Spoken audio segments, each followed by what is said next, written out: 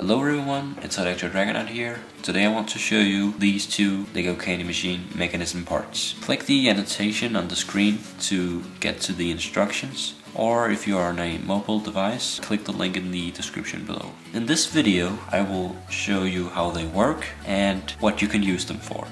Okay, first I'll show you how they work. We cannot push the, the button because it's locked. This bar right here has to be flipped up before we can push. And we need a coin for that.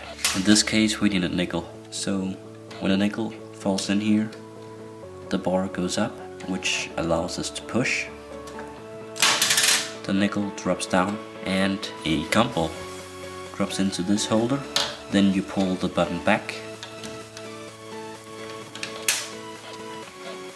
the gumball drops down and the bar locks again.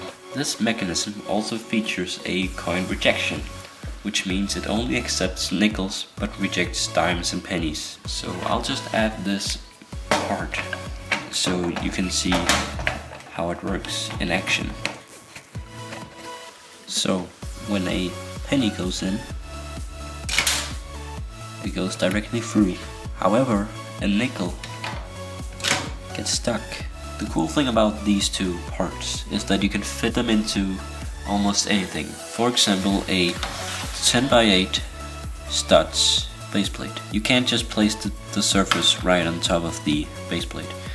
You need some bricks underneath. You need two layers of basic bricks. Don't fill this part up because you're going to need this space for a coin tray. It's like a place where you take out the coins. So when you're done, place it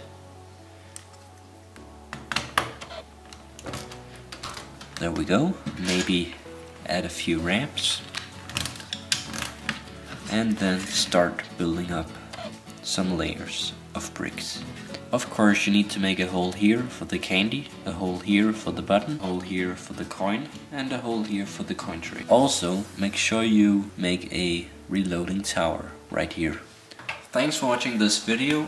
Hope you enjoyed it. Please give a like if you liked it. If you think I should make more of these talking videos, please let me know in the comment section below.